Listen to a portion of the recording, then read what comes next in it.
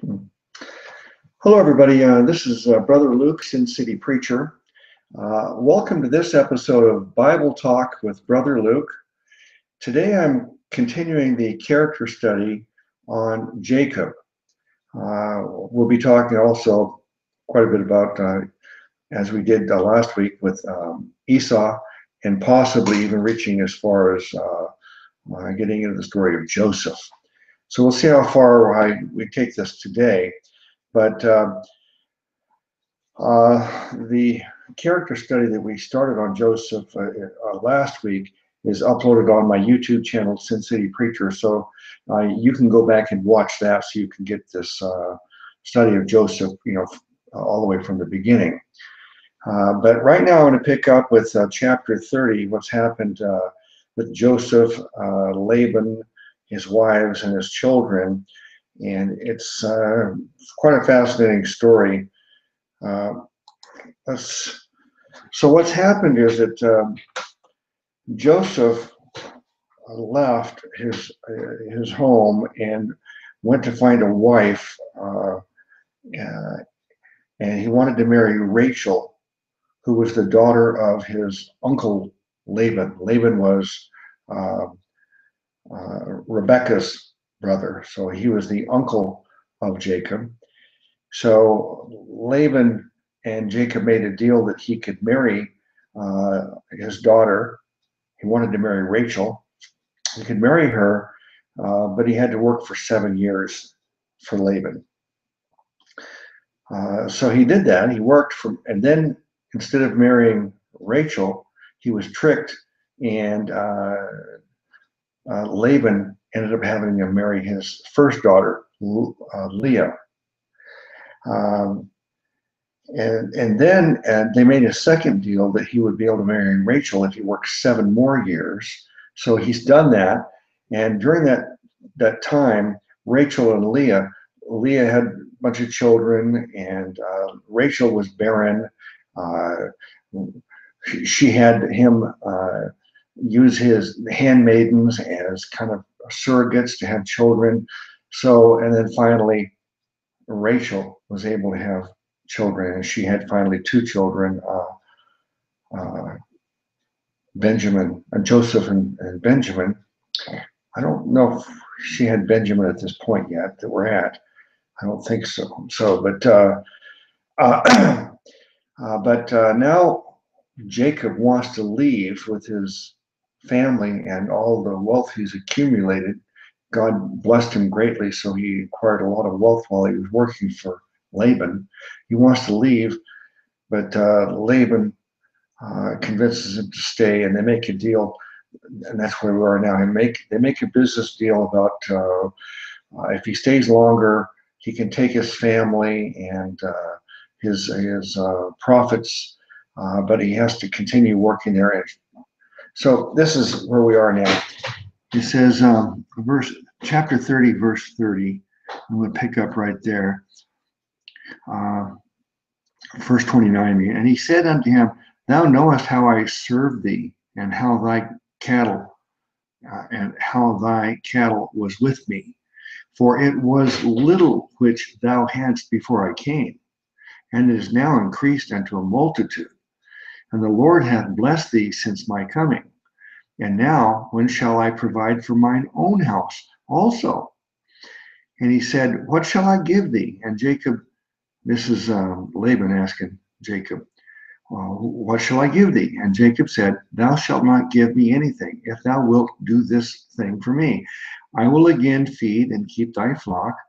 I will pass through all thy flock today, removing from thence all the speckled and spotted cattle, and all the brown cattle from the sheep, and the spotted and speckled among the goats, and of such shall be my hire. So shall my righteousness answer for me in time to come, when it shall come for my hire before thy face. Every one that is not speckled and spotted among the goats and brown among the sheep shall be counted stolen with me. And Laban said, Behold, I would it might be according to thy word. So they make this deal that uh, uh, Jacob will continue serving Laban all the while he's been there, Laban's wealth has grown because God is blessing Jacob, and because he's working for Laban, he ends up having his wealth increase a lot. So they make this deal. He'll stay and continue working for a while, but uh, Jacob gets to keep the spotted animals, and the other animals will belong to uh, Laban. Let's read that in the Amplified. I want to get a better idea of the meaning of all that.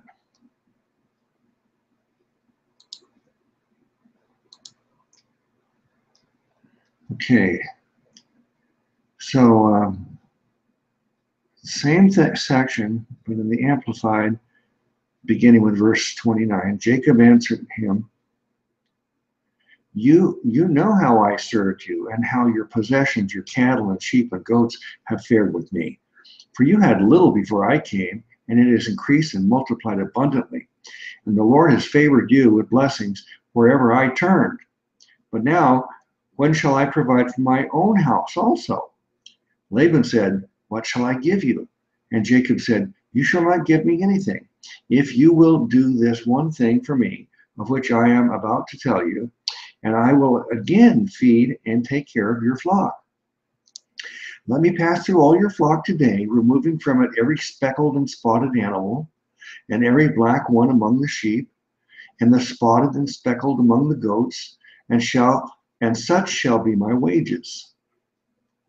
So the I imagine that the vast majority of these the animals were not spotted and speckled, uh, and uh, so he was taking a small number from from among the entire uh, flock and, and uh, herd uh, for himself, and the rest Laban could keep so, and then it goes on in verse 33. So later, when the matter of my wages is brought before you, my fair dealing will be evident and answer for me. Everyone that is not speckled and spotted among the goats and black among the sheep, if found with me, shall be counted as stolen. So, in other words, um, as the animals continue reproducing, all of them that are not speckled and spotted among the, the, the goats and the sheep uh, will will be uh, will continue to be owned by Laban, and Jacob cannot take any of them. He can only take the spotted ones. And Laban said, "Good, let it be done as you say." So they strike a deal. And now let's look at verse 35. I'll read it first in the KJV.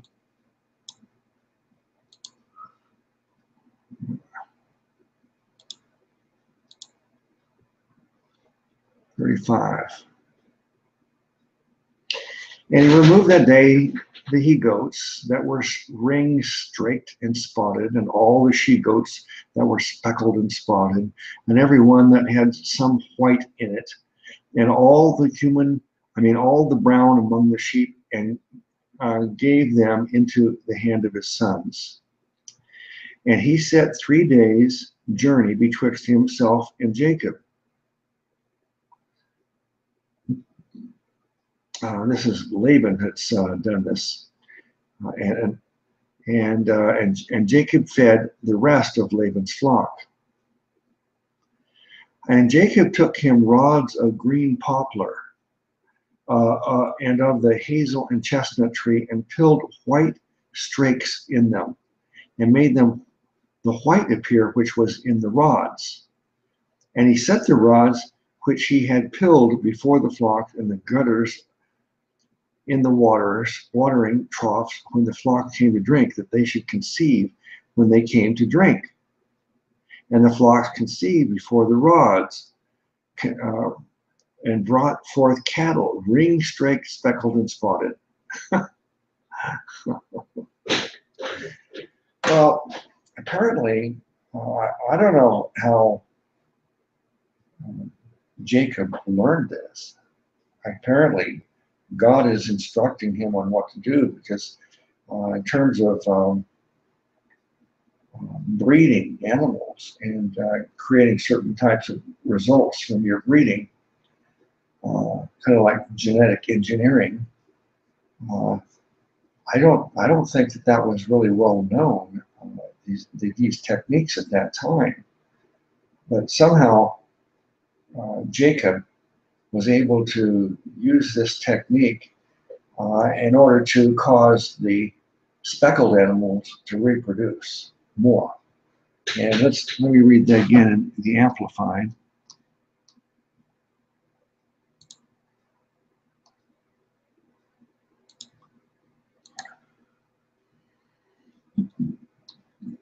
Thirty-five. So in the Amplified it says, But that same day Laban removed the he goats that were streaked and spotted, and all the she goats that were specked, speckled and spotted, every one that had white on it, and every black lamb, and put them in charge of his sons. Uh, and he set a distance of three days' journey between himself and Jacob. So the herds, uh, they, they are on the flock are separated according to their agreement. Then there's three days journeys, the space between the two camps. Um, but Jacob took flesh, fresh rods of poplar and almond and plane trees and peeled white streaks in them, exposing the white in the rods. Then he set the rods which he had peeled in front of the flocks in the watering troughs where the flock came to drink. And since they bred and conceived when they came to drink, the flocks bred and conceived inside of the rods and brought forth lambs and kids streaked, speckled, and spotted. Um, I I don't know anything about uh, breeding and, and uh, this kind of thing to say if, if this kind of thing actually can cause certain result that uh, Jacob was able to get, or God, uh, God just caused his speckled animals to reproduce and uh, at a much higher rate than the, the, animals that were given to Laban, that, Laban, that Laban kept. Uh, but the results are, will turn out to be outstanding. Now, what these reeds and these streaks in them have to do with it all. I don't know. If, if anybody knows anything about this can, and can tell me uh, uh, to see if this somehow influences the animals in any way. Uh, but uh, certainly, God has blessed Jacob in the past with great increase, and and now He's continuing to bless him. So the speckled animals are going to reproduce uh, a greater rate. Verse 40 Jacob separated the lambs, and as he had done with the peeled rods, he also set the faces of the flocks toward the streaked and all the dark in the new flock of Laban. And he put his own droves by themselves and did not let them breed with Laban's flock. And whenever the stronger animals were breeding, Jacob laid the rods in the watering troughs before the eyes of the flock that they might breed and conceive among the rods. But when the sheep and goats were feeble, he omitted putting the rods there, so the feebler animals were Laban's and stronger Jacob's. Thus the man increased and became exceedingly rich and had many sheep and goats and maidservants, men servants, camels, and donkeys.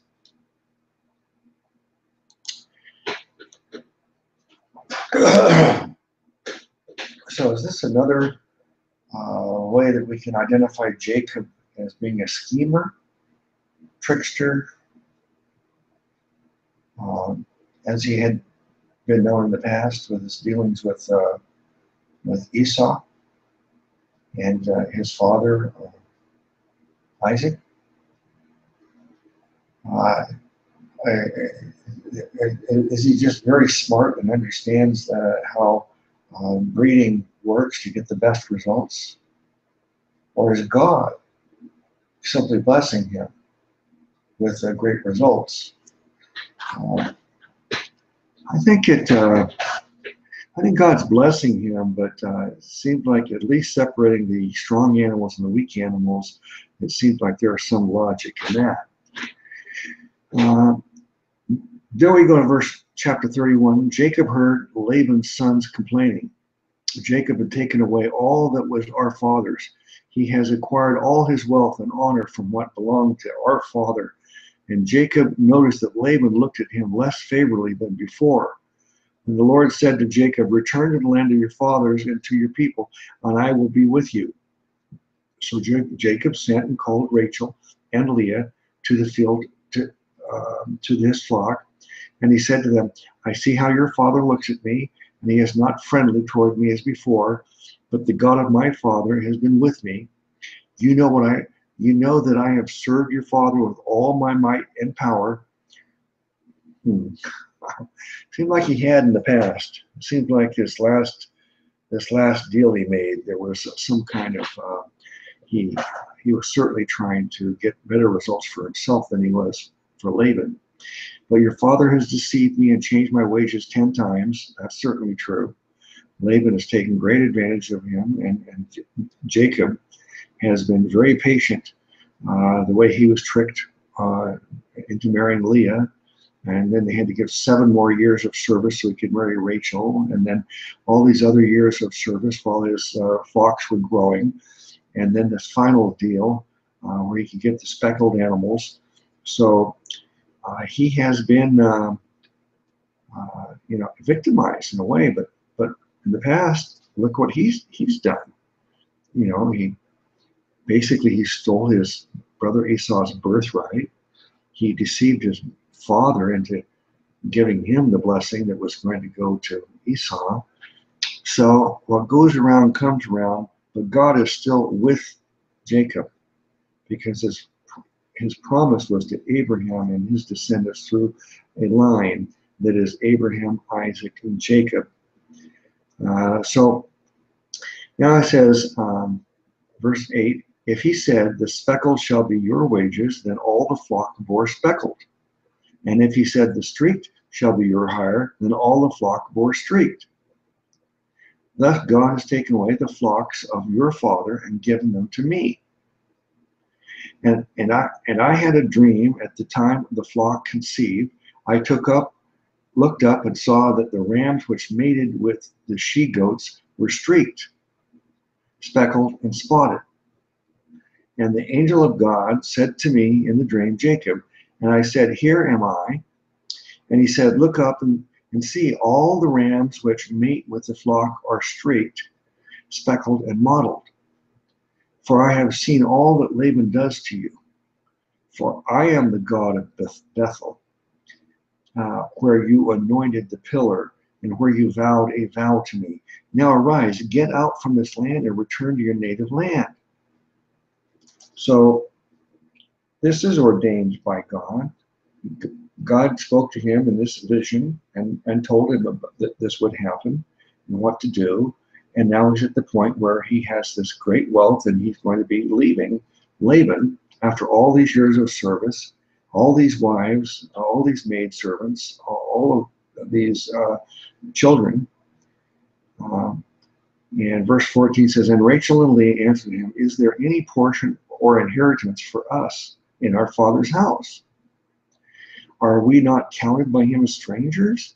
For he sold us and has also quite devoured our money, the price you paid for us. Huh. So now Rachel and Leah are also getting involved and feeling that they have been uh, kind of ripped off by their father.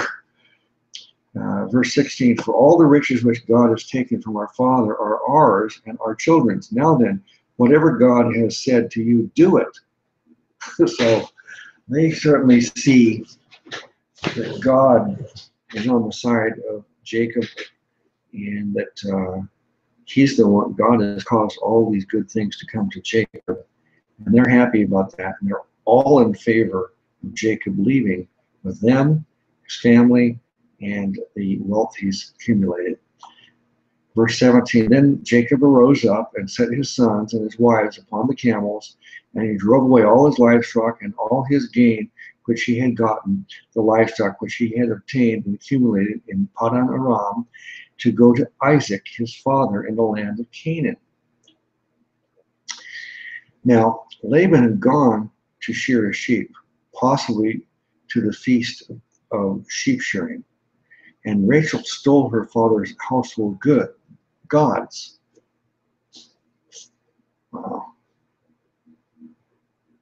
Rachel.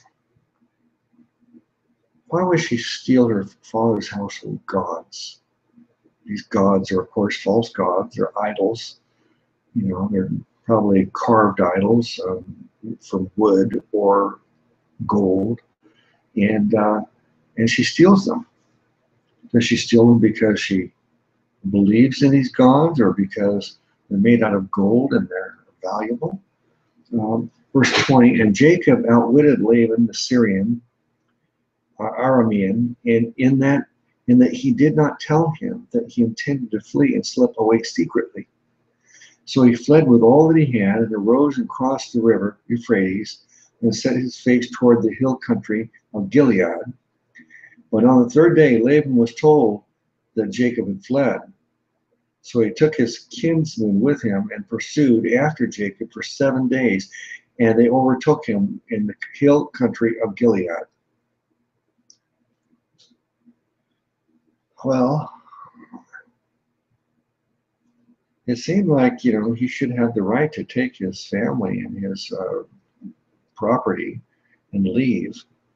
Uh, but uh, somehow, I guess uh, Laban has not agreed, and for some reason uh, feels he has some right uh, to, to that property, even though Jacob has worked for it all this time. It says in verse 24, but God came to Laban, Laban, this Syrian, in a dream by night and said to him, Be careful that you do not speak from good to bad to Jacob, peaceably, then violently. Then Laban overtook Jacob. Now Jacob had pitched his tent on the hill, and Laban coming with his kinsmen pitched his tents on the same hill of Gilead. So God spoke to Laban in a dream and warned him uh, about how he was to deal with with uh, um, Jacob. And Laban said to Jacob, What do you mean stealing away and leaving like this without my knowing it and carrying off my daughters as if captives of the sword? God, he's got a lot of nerve. I mean, his daughters. Why would you think they're his daughters? Now they're they're Jacob's wives. Why does he have a right to them after the agreements that they've made and all the work that uh, uh, Jacob's done? It seems very, very unfair the way that Laban is looking at this. In verse 27, why did you flee secretly and cheat me and did not tell me? It doesn't seem that Jacob cheated him, but he did leave secretly, uh, so that I might have sent you away with joy and gladness and with singing, with tambourine and lyre. I don't think Jacob was uh, pretty confident that if he told Laban he wanted to leave, that uh, it would uh, go peaceably. In verse 28, and why did you not permit me to kiss my daughters, uh, my, my, kiss my sons and grandchildren, my daughters goodbye? Now you have done foolishly in behaving like this. It is in my power to do you harm. But the God of your father spoke to me last night, saying, Be careful that you do not speak from good to bad to Jacob, peaceably, then violently. Verse 30 And now you felt you must go because you were homesick for your father's house. But why did you steal my household gods? Uh oh. Jacob doesn't even know about that. Jake, verse 31 Jacob answered Laban, Because I was afraid, for I thought, suppose you would take your daughters from me by force. The one with whom you find those gods of yours, let him not live. Wow. So Jacob is telling Laban, who, you know, whoever took your gods, when we discover who it is, you can kill them. It's fair. It's just. Here before our kinsmen, search my possessions and take whatever you find that belongs to you. For Jacob did not know that Rachel had stolen the images. Wow.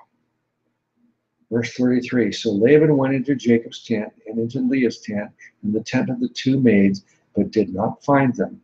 Then he went from Leah's tent into Rachel's tent.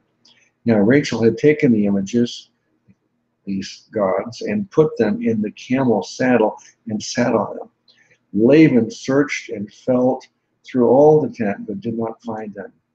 And Rachel said to her father, Do not be displeased, my lord, that I can, cannot rise up before you, for the period of women is upon me, and I am unwell. Gosh, the deceit of these people. You know? It just seems like one after another. They're liars. Abraham uh, lied about Sarah not being his wife. Isaac lied about Rebecca not being his wife. Uh, and now we got and, and uh, Jacob. Um, he, he, lied about, uh, if I remember correctly, he lied about Rachel not being his wife. And now we've got, and, and uh, look at Rebecca, her scheming along with Jacob, part of that scheme to uh, deceive Isaac regarding the blessing that was supposed to go to Esau. So Rebecca, now Rachel, stealing and lying about it. And these people are heroes of the scriptures. So I guess we should not be too hard on ourselves, uh, knowing that uh, these Old Testament saints uh, will be celebrating with them in, in heaven someday. And uh, they're just as guilty as we are, even though they are the great characters of the scriptures. Um, and he says, um, and he searched, that's Laban searched, but did not find the gods. Then Jacob became angry and reproached and argued with Laban. And Jacob said to Laban, What is my fault? What is my sin? that you so hotly pursued me. So now Jacob has this righteous indignation that, that uh, Laban has pursued him and is falsely accusing him of stealing these gods of that belong to Laban. Not, and he's unaware that Rachel really did steal them. Verse 37 Although you have searched and felt through all my household possessions, what have you found of all your household goods? Put it here before my brethren and yours, that they may judge and decide between us. These 20 years have I, the years I have been with you. Your ewes and your she goats have not lost their young, and the rams of your flock have not been eaten by, by me. It is true that uh, Jacob faithfully worked and served for him and, and was a great uh, value to uh, Laban. Verse 39 I did not bring you the carcasses of the animals torn by wild beasts, I bore the loss of it. Wow. You required of me to make good all that was stolen, whether it occurred by day or by night. This was my lot. By day the heat consumed me, and by night the cold, and I could not sleep. I have been 20 years in your house. I served you 14 years for your two daughters and six years for your flocks, and you have changed my wages 10 times. And if the God of my father, the God of Abraham, and the, and the dread lest he should fall, and fear lest he offend of Isaac, had not been with me, surely you would have sent me away now empty handed. God has seen my affliction and humiliation and the wearying labor of my hands. and rebuked you last night. Wow. So he's saying that God must have taken the stuff and rebuked him, I guess. In verse 43, Laban answered Jacob, These daughters are my daughters. These children are my children. He's referring to the grandchildren. Uh, these flocks are my flocks, and all that you see is mine. But what can I do today to these my daughters, or to these to their children whom they have borne? So come now, let us make a covenant or league, you and I, and let it be for a witness between you and me. So Jacob set up a stone for a pillar or monument. And Jacob said to his brethren, Gather stones. And they took stones and made a heap, and they ate together thereupon the heap. Laban called it Jegar Saduth Sada Sahadutha. That means witness heap in Aramaic. But Jacob called it Galeed, which means witness heap in Hebrew. Uh, Laban said, This heap is a witness today between you and me. Therefore, it was named Galeed. And the pillar or monument was called Mizpah, which means watch post. For he, Laban, said, May the Lord watch between you and me when we are absent and hidden from, from another. If you should afflict, humiliate, or lower or divorce my daughters, or if you should take other wives beside my daughters, although no man is with us to witness. See, remember, God is witness between you and me. Hmm. And Laban said to Jacob, See this heap and this pillar, which I have set up between you and me. This heap is a witness, and this pillar is a witness that I will not pass by this heap to you, and that you will not pass by this heap and this pillar to me for harm. The God of Abraham and the God of Nahor and the God of the, the object of worship of their father, Terah, and idolater, judge between us. But Jacob swore only by the, the, the one true God, the dread and fear of his father Isaac. Then Jacob offered a sacrifice on the mountain and called his brethren to eat food. And they ate food and lingered all night on the mountain.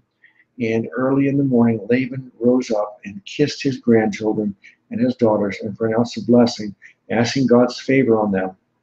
Then Laban departed and returned to his home.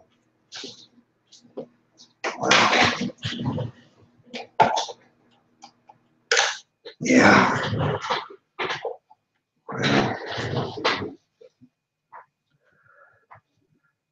So that is chapter 30 in this long, enduring experience of service that J- Jacob gave to Laban. And so now they're parting company, and Jacob is going back to his father's land with his wives and children and all this wealth. All right, so now let's go to verse 31, uh, chapter 31. Let me see.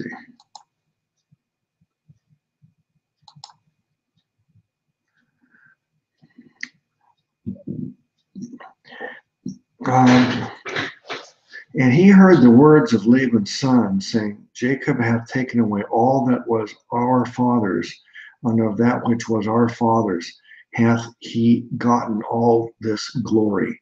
And Jacob beheld the countenance of Laban, and behold, it was not toward him as before. Hmm. And the Lord said unto Jacob, Return unto the land of thy fathers and to thy kindred, and I will be with thee. And Jacob sent and called Rachel and Leah to the field of his flock. Hmm.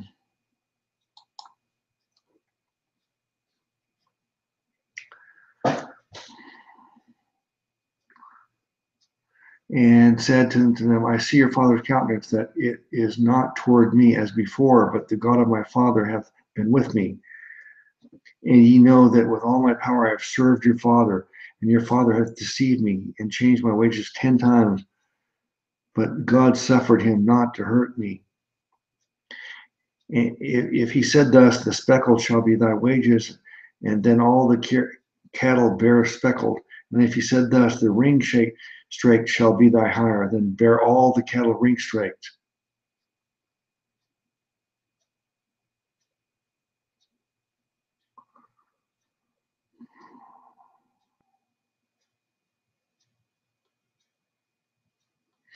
Oh, my mistake.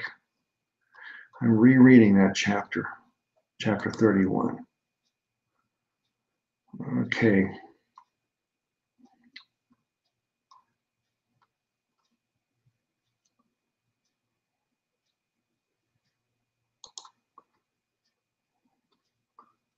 Let's go to chapter 32 here.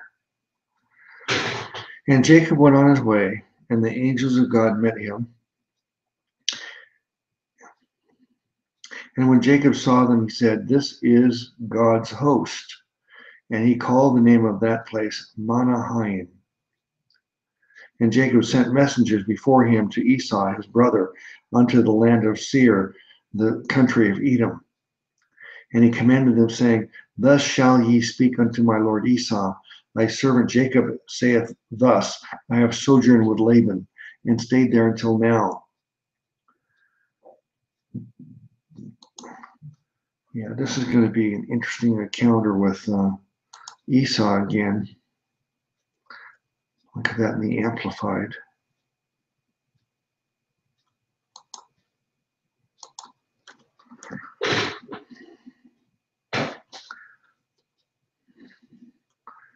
Uh, verse 5 uh, and, and I have oxen, donkeys, flocks, men servants, and women servants, and I have sent to tell my Lord that I may find mercy and kindness in your sight. So he sends a messenger off to Esau, his brother, who is already sworn to kill him. And that's why he originally left his, his father's land, uh, because he had, you know, basically stolen the, the birthright and, and the blessing that was going to go to Esau. Esau was so angry, swore he would kill his brother, uh, Jacob. So now he's returning, and he's assuming his brother still wants to kill him. And uh, and the messengers returned to Jacob, saying, "We came to your brother Esau, and now he is on the way to meet you." Uh oh. And four hundred men are with him. Wow. Then Jacob was greatly afraid and distressed, and he divided the people who were with him and the flocks and herds and camels into two groups, thinking, if Esau comes to the one group and smites it, then the other group which is left will escape. Always thinking, Jacob. Uh, verse 9 Jacob said, Oh my O God of my father Abraham and God of my father Isaac, the Lord who said to me, Return to your country and to your people, and I will do you good. I am not worthy of the least of all the mercy and loving kindness and all the faithfulness which you have shown to your servant. For with only my staff and I pass, my staff, I passed over this Jordan long ago, and now I have become two companies well, it certainly is true what he said. I am not worthy of all, all this mercy and blessings he's gotten because he's really been a deceitful uh, schemer. But what he did to others was done to him. Verse 11 Deliver me, I pray you, from the hand of my brother, from the hand of Esau. For I fear him, lest he come and smite us all, the mothers uh, with the children. And you said, and you said, I will surely do you good and make your descendants as the sand of the sea, which cannot be numbered for multitude. And Jacob lodged there that night and took from what he had with him as a present for his brother Esau 200 she goats, 20 he goats, 200 ewes, 20 rams, 30 milk camels with their colts, 40 cows, 10 bulls, 20 she donkeys, and 10 donkey colts. And he put them in the, in the charge of his servant, every every drove by itself, and said to his servants, Pass over before me and put a space between drove and drove. And he commanded the first, When Esau, my brother, meets you and asks to whom you belong, where you where you are going, and whose are the animals before you, then you shall say, They are your servant Jacob's. It is a present sent to my lord Esau, and moreover, he is behind us. well, and so he commanded the second and third, the third, and all that followed the drove, saying, This is what you are to say to Esau when you meet him. And say, Moreover, your servant Jacob is behind us. So he's got these these great gifts in, in three different positions. And uh, it's the plan is as Esau approaches, he gets this one gift from his brother, already very valuable, and and then he can, if Esau continues on, he'll see another gift and then a third gift, and he's certainly hoping that uh, this is going to appease his brother and soften his heart and take away his hatred and and uh, vow to kill him. Uh, and say, Moreover, your servant Jacob is behind us, for he said, I will appease him with a present that goes before me. And after a while, I will see his face. Perhaps he will accept me. So the present went on before him, and he himself lodged that night in the camp. But he rose up that same night and took his two wives, his two women servants, and his eleven sons, and passed over the, over the ford of the Jabbok. And he took them and sent them across the brook. Also, he sent over all that he had. And Jacob was left alone, and the man wrestled with him until daybreak. And when the man saw that he did not prevail against Jacob, he touched the hollow of his thigh, and Jacob's thigh was put out of joint as he wrestled with him. And he said, Let me go, for the day is breaking.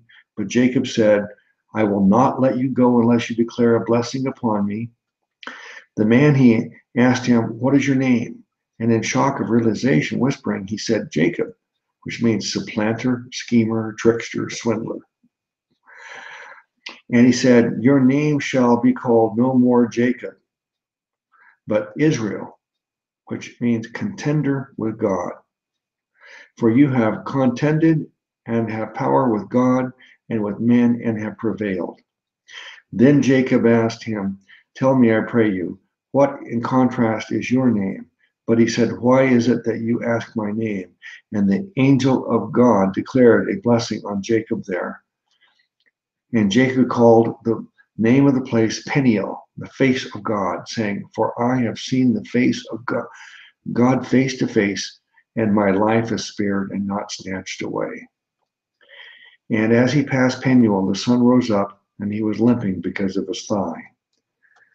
That is why this day the Israelites do not eat the sinew of the hip, which is on the hollow of the thigh, because the angel of the Lord touched the hollow of Jacob's thigh on the sinew of his hip. This encounter where Jacob wrestled with the angel of the Lord um, I've discussed this in much more detail in our study of um, the angel of the Lord, uh, theophanies and Christophanies. So I hope you go to watch that and you'll understand that um, God has appeared um, many times throughout history, even before the incarnation of Jesus, his, his, his birth in Bethlehem, even before that. Uh, here's an example of it where God makes an appearance. So I suggest you go and watch the um, the character study we did on uh, the angel of the Lord. So let's go down to see what happens with chapter 33, what happens with Jacob and Esau now. And Jacob raised his eyes and looked, and behold, Esau was coming, and with him 400 men. So he divided the children to Leah and to Rachel and to the two maids. And he put the maids at their children in front, Leah and her children after them, and Rachel and Joseph last of all. Then Jacob went over the stream before them and bowed himself to the ground seven times until he came near to his brother. Wow. This is quite quite an undertaking that Jacob is doing to appease his brother, giving him a series, a series of three different large gifts. Uh, and and then and as he sees him bowing and then coming forward and then bowing again, and then coming forward and bowing again, seven times times bowing to Esau. Let's see if it does him any good.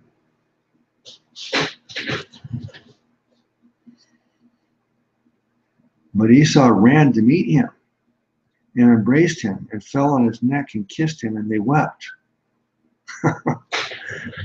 kind of strikes me as the kind of the parable of the what's called the parable of the prodigal son. I prefer to call it the parable of the backslidden son. Uh, because uh, the same thing happened as the, the son was coming back. Uh, the father's reaction was not anger that the son had left and gotten into trouble and, and, and blew his inheritance. You know, the father's reaction was he just wanted to hug him and kiss him. And this is Esau's reaction. And uh, Esau, uh, really, from everything I've seen about Esau, uh, he, he's more admirable to me than Jacob. Esau just means red because he was a redhead and was hairy with hairy and a lot of hairy hair. Well, everything I've learned about Esau, there's really not much fault you can find him except he didn't take his his inheritance seriously. He sold it to Jacob for a bowl of stew. And uh, but other than that, look, he's look how forgiving he is here. And uh, God uh, promised that he would be blessed too. And he certainly was. He's, he's a very wealthy man in his own right now.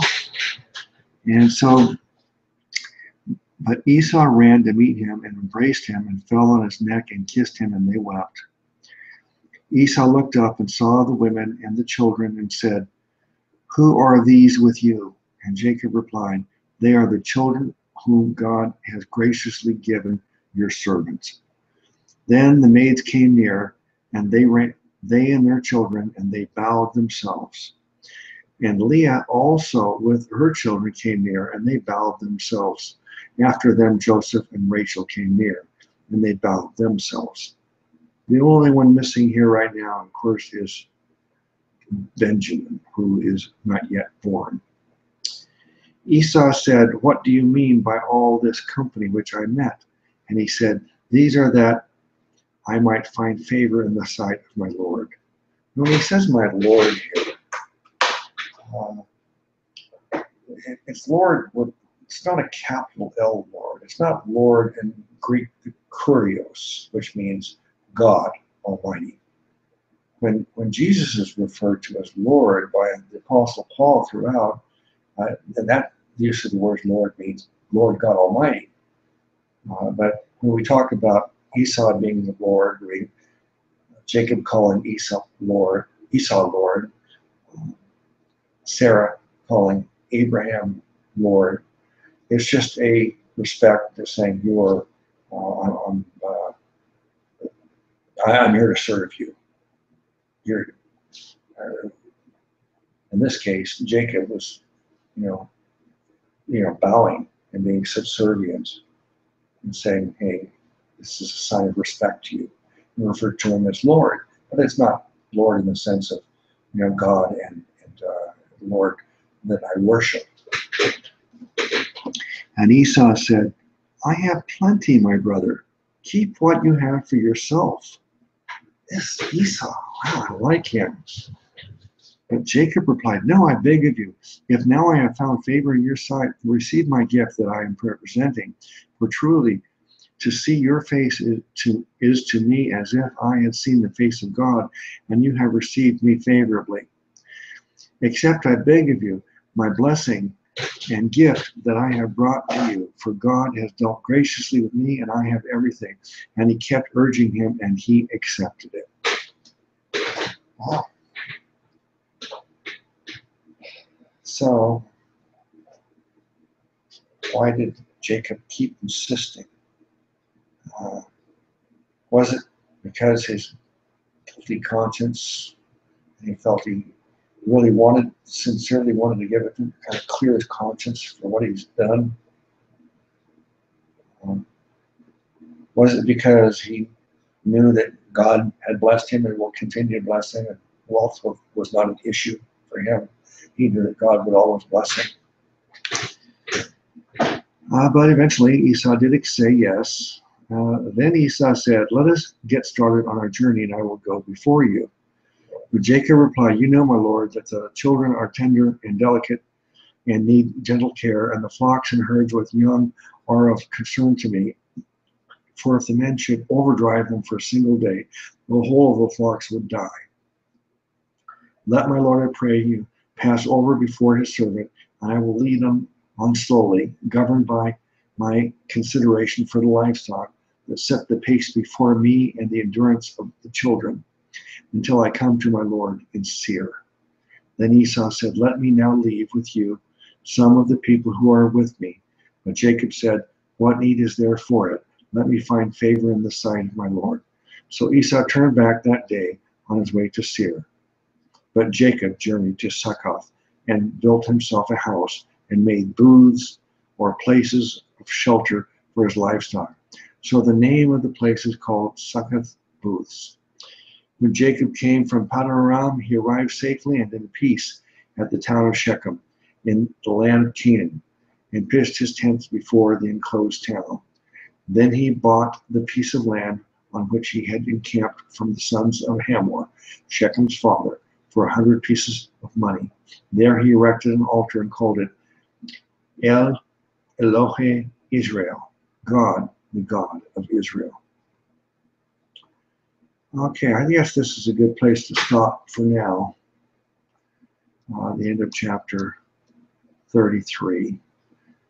Uh, there's more to be said about Jacob, and mostly we're going to be transitioning from Jacob now to his children, particularly his uh, son Joseph. So that's where we'll, go in the in the next the next Sunday. Uh, so for now, I will close this study off, and as is my practice, uh, I don't want to end any study without offering an invitation uh, for you to receive the free gift of salvation. Uh, I know that some people watching this have already received the free gift. Maybe you're watching this and you don't even know what I'm talking about the free gift of salvation. But you can learn all hundreds of theological subjects. But the one theological subject that is of utmost importance, is primary, and is preeminent, and is the subject of soteriology. That's subject of salvation. See, the scripture tells us that uh, Adam and Eve were the first humans, and they fell because of sin. And all their descendants, of which we are descendants of Adam and Eve, uh, we are born wrong. We are born with a birth defect, uh, a, a, genetic defect. It's called the, the sin nature. Every one of us is born as a sinner. Now, from when you were first born and as soon as you were able to, you began to sin, just as I did. No one had to teach me or you how to lie. Because by the time we're two or three years old or something, we just start lying. no one no one taught us how to do it. And uh, we have been doing the wrong thing our whole lives. Now, I know that some people sin more than others. Some people really do their best to not sin. But we can't help it because it's it's who we are. It's it's genetic. And uh, I know that uh, some of us have other preferred sins. We have proclivities for certain types of sins. It's not, it's not the type of sin and it's not the, the quantity of sin that is the issue here. The issue is we are sinners from, from birth. It is our nature. And because we're sinners, we cannot have a relationship with God. God wants to embrace us. God wants a relationship with us. That's why he created mankind. But here we are, and here God is, and then there's sin, and we can't get together. It's like a magnetic, magnetic repulsion. And throughout history, man has tried to solve this problem on, on his own. Man has invented all kinds of religions. And every religion in the world is really the same. And every religion is based on uh, the merit system. Man thinks, rationalizes, if I could be good, God will accept me. But no matter how hard we try to be good, we're still sinners by, by nature. It's, it's not even what we do that's the problem, it's what we are. We were born wrong. We need to be born again spiritually. So if you're trying to get please God and work your way to heaven and say, if I just do enough good things and if I have enough restraint and stop doing the bad things. See, we know in our conscience, our conscience tells us that, you know, what's right and wrong. And today there's this principle of moral relativity where everybody just decide what's right, wrong, and wrong, but inside we really all know. And, but if you think that you can, uh, through your own effort, stop doing bad things and do a lot of good things, and then God will be pleased and accept you, you're going to be sadly disappointed at the judgment because no matter how hard we try to strive to please God, scriptures tell us that we all fall short of the glory of God. All have sinned and come short of the glory of God. So, if you're going to try to do this on your own through practicing religion, you're going to miss the mark and fall short, and you won't be able to go to heaven because you'll still be a sinner by nature. You need to be born again. You need to be born right. You need to be born spiritually from above. How do you do that? Well, God understood our problem. He knew that we could not solve this sin problem on our own. And so God loves us so much that he sent his son, Jesus Christ, to, to solve the problem. And scriptures tell us that Jesus Christ was in heaven as God, it's the Word of God. And then he came down from heaven and was manifest in the flesh and became the Son of God, Jesus Christ. Jesus said the reason he did that, the reason he became a man, was so that he could die. Of course, he couldn't, God can't die, he's eternal. But he, Jesus could become a man, and in that way he could die. He needed to die because scriptures tell us the wages of sin is death. But The gift of God is eternal life through Jesus Christ our Lord.